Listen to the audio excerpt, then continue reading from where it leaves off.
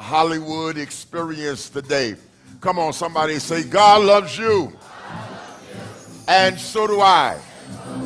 Come on, somebody say again, God loves you. It's gonna be all right. It's gonna be all right.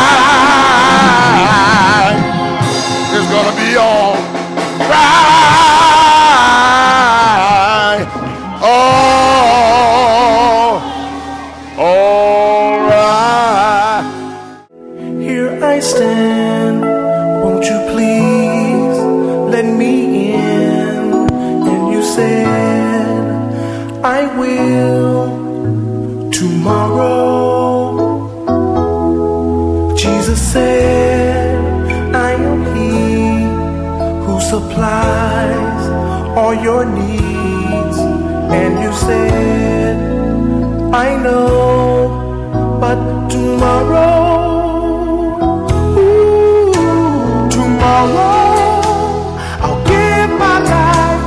tomorrow.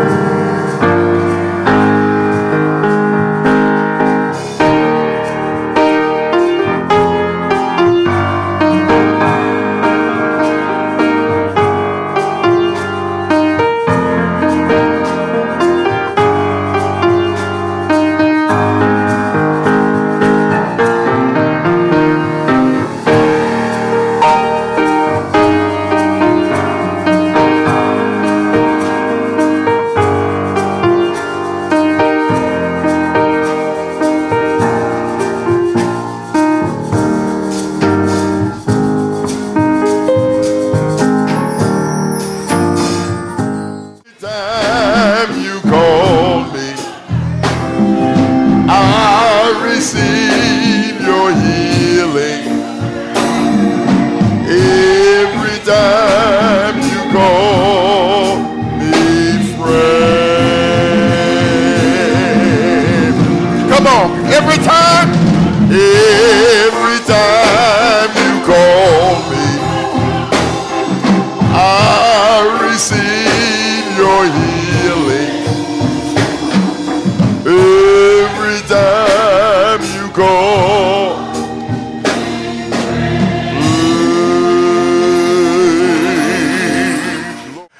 Today, during our Sunday school hour, the lesson of the morn had to do with the book of Leviticus, the eighth chapter and the tenth verse, a description of those sons of Aaron who were set aside and separated.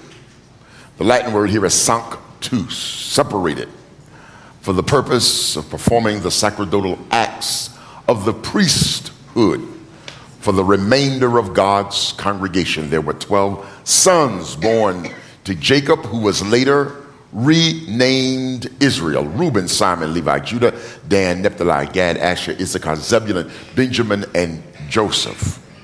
Eleven of those tribes received the land upon their entry to the promised land. Some received valley land, others received hill country, others received high land, others received land by the river side. All received land excepting that of the sons of Levi.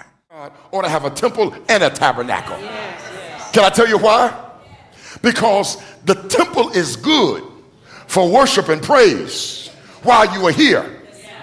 But the truth of the matter is, at the close of the service, there's the benediction, followed by your release from this house. And there is a Monday, Tuesday, Wednesday, Thursday, Friday, and Saturday that you have to abide in between your Sundays. And somewhere around Tuesday or Wednesday, some problem might crop up. And if the only place you can meet God is in your temple, you're going to be in trouble. If the only place you can talk to God is in the temple, then you, you're in trouble because you might be in some remote location and you can't get to 3504 Great Neck Road. But there ought to be enough tabernacle inside of you that when you can't get here, you can find God here.